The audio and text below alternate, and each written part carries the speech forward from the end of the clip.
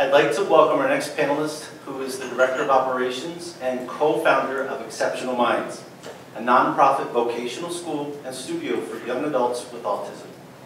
She's the mother of Noah, a 20-year-old artist who is on the autism spectrum. She spent 30 years working in film production and is an award-winning member of the Directors Guild of America and the Academy of Motion Picture Arts and Sciences. She is one of the founders of she is one of the founders of Exceptional Minds and believes that all individuals with and without special needs should be able to have meaningful careers and purposeful lives. She is honored to be a part of this panel. Please welcome Ms. Yudi Bennett. Thank you. It's an honor to be here. Uh, and uh, as Michael was speaking, I, I thought, this is great, think positive. I'm going to carry this everywhere I go. And then I realized I have something else I carry everywhere I go. It's my keys.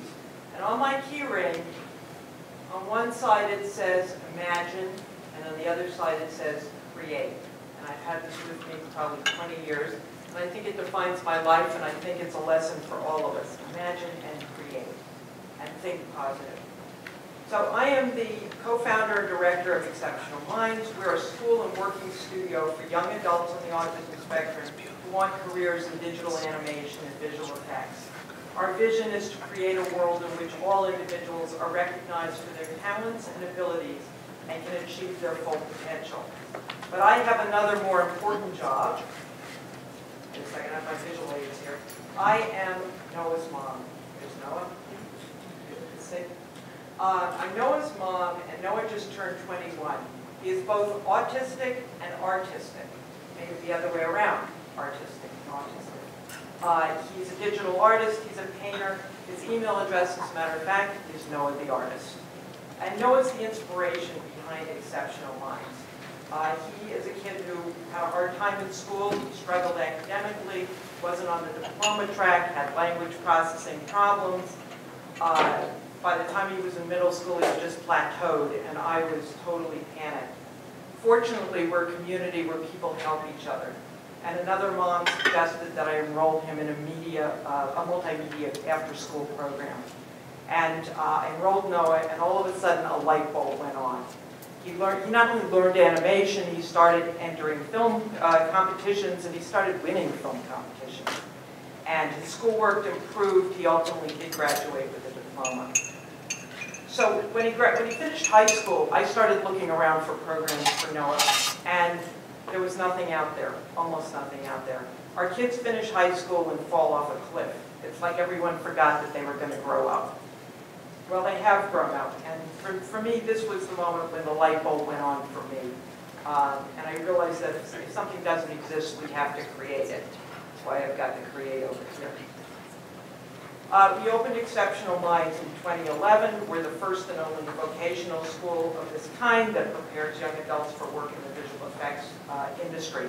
And the reason I want to talk about it today, I mean, for some of you, this will, uh, the school, the subject will be interesting, for some less so, but I think we've created a model uh, that works for our students and can work for a lot of other people. And uh, I'm just a mom. I saw a need, I went out, I found other people who saw the same need, and created it. I know there are lots of moms and dads out here. You guys can do the same thing. Remember, create. So what's unique about Exceptional Minds? What's unique about our program is it's our mission. We are all about jobs, jobs, jobs.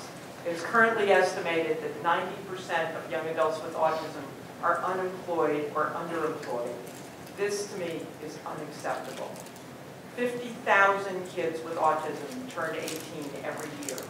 They're doomed to lives of isolation, low self-esteem, dependence on government assistance, depression, all the things that come with, with unemployment or underemployment. Uh, this to me is a crisis. We need to, to take action. Uh, Temple Grandin, in her book, Developing Talents, writes, without work, no matter how big or how small, life would become small and unsatisfying for me. And I think that's true with most people. It's certainly true of me. Uh, work provides more than just a paycheck. It provides my self-esteem. It provides structure. It provides community, friendships, um, a lot more than just a paycheck. For our kids, it's the same thing for our young adults. Uh, At Exceptional Minds, we teach both technical and soft skills to enable our grads to get jobs and retain jobs. Um, Our teachers are artists and industry professionals who have high expectations of our students, and our faculty includes several, um, uh, several teachers who are on the spectrum themselves. What we teach, this will mean something to some of you and not all of you, but we teach visual effects cleanup, we teach rig removals, rotoscoping, and credit crawls animation. Now, I don't know, does, do any of you know how to rotoscope? Anybody out there know how to rotoscope? Okay, the truth is, I don't know how to rotoscope.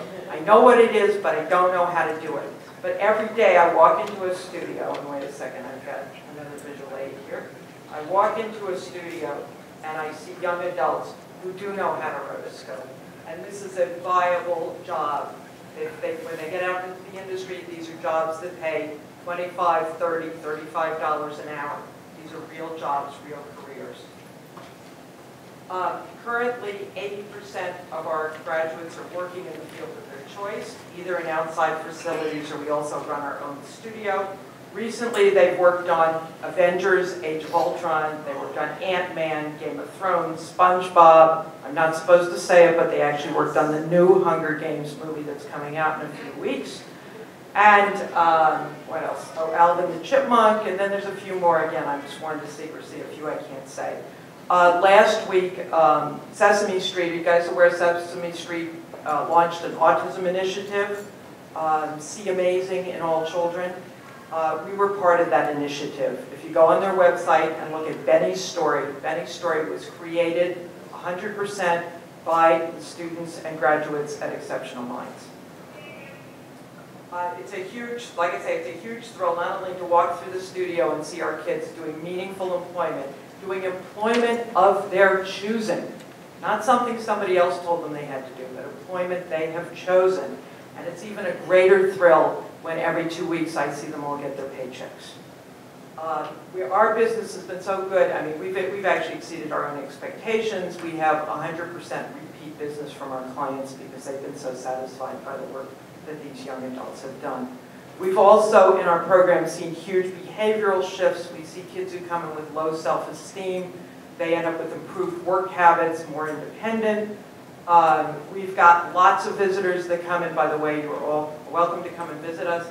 We encourage visitors. We want our, our uh, students to interact with the general population, with uh, people from the uh, film industry.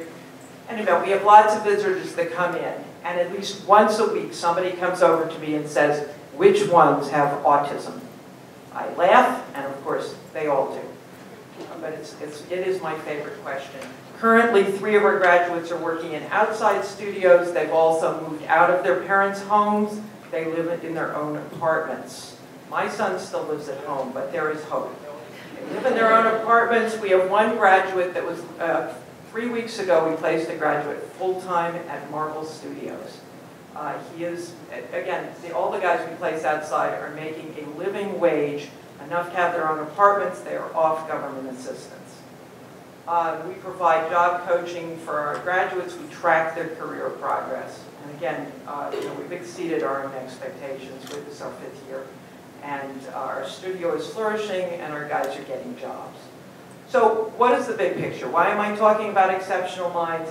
Because I want to share what we've learned on our journey. Okay, what we have learned is don't underestimate these young adults.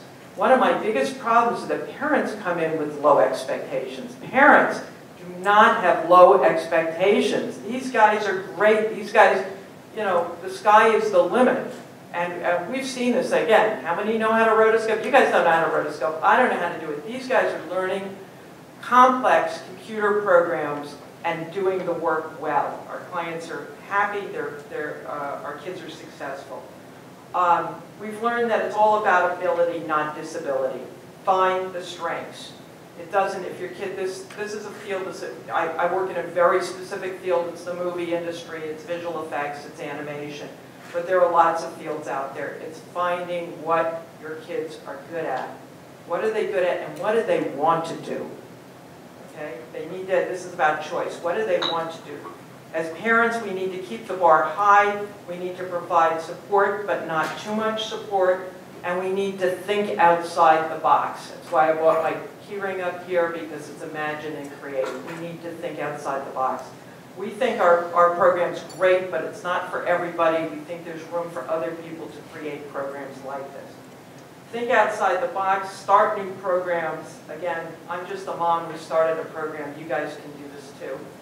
Um, understand the person's skills. I speak to, I shouldn't leave out professionals, professionals and parents. Understand the person's skills.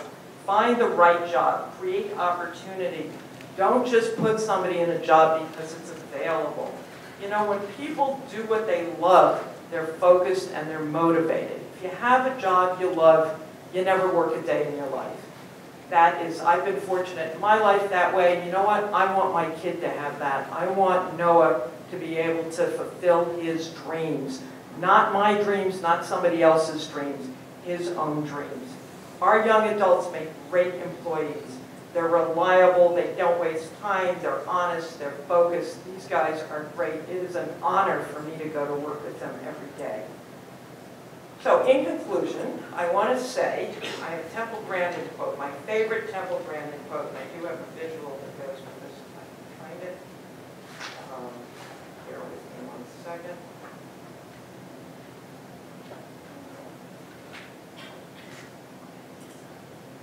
Here it is. Okay. This is my son having lunch with Temple Grandin. He pulled out his portfolio. She was talking about how you have to have your work with you. Um, as uh, Michael pointed out, she sold herself not on her great social skills, but on the fact that she had a great portfolio.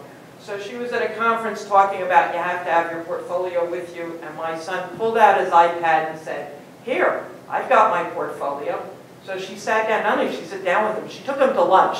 She ignored me and she took my son to lunch. And that is the two, sorry, I'm waving it around, but that's the two of them.